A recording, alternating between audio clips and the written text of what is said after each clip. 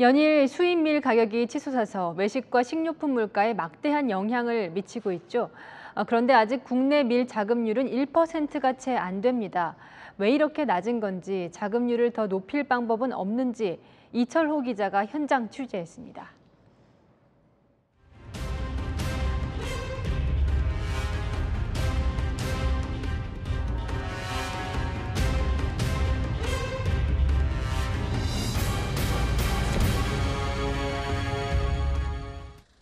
경남 고성의 한 농촌 마을. 검은 비석에 쓰인 우리밀 살리기 운동이라는 8글자가 눈에 띕니다. 1989년 우리밀 살리기 운동이 이 마을에서 처음 시작됐습니다. 밀수확철이 다가온 들판에 나가봤습니다.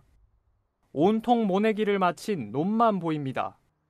드론을 날려보니 야산 모퉁이에 숨은 작은 곡물밭이 보입니다. 곤봉 같은 이삭에 쭉 뻗은 누런 수염. 밀이 맞습니다. 우리밀 운동 발상지에서 밀은 왜 이렇게 귀해진 걸까?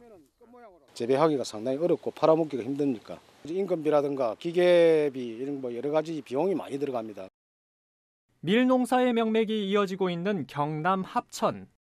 거대한 저장고 너머 밀밭이 뻗어 있습니다. 봄 가뭄의 작황은 좋지 않지만 풍경만큼은 장관입니다.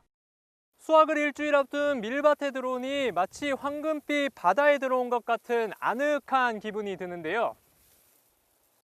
밀은 우리나라 사람들이 쌀 다음으로 많이 먹는 작물이지만 우리 땅에서 기름 비율은 고작 0.8%에 불과합니다. 거의 100% 수입밀을 먹는 이유는 두세 배 비싼 가격 외에 맛과 품질 차이도 있습니다. 그 젊은이들은 수입 밀의 입맛이 길들여져 있어 가지고 하얗고 부드럽고 사실 우리 밀은 좀 거칠고 색도 좀 어둡고 하니까 잘 안 먹는데 국제 밀 가격 폭등에 비상이 걸린 정부는 대체제인 우리 밀의 고급화를 서두르고 있습니다. 단백질 함량 14%로 쫀득쫀득한 황금알 품종은 빵밀 시장 공략을 위한 히든 카드. 당장 가격을 낮출 수 없다면 수입밀보다 나은 맛과 영양으로 승부를 보겠다는 겁니다. 기존에 없던 외국에는 없는 그런 특이적인 차별화된 우리밀을 좀 개발을 해서 합리적인 가격으로 좀 인정받을 수 있게 정부의 2025년 밀 자급률 목표는 5%. 식량 안보 위기 속 막연한 구호가 아닌 반드시 달성해야 할 목표가 됐습니다.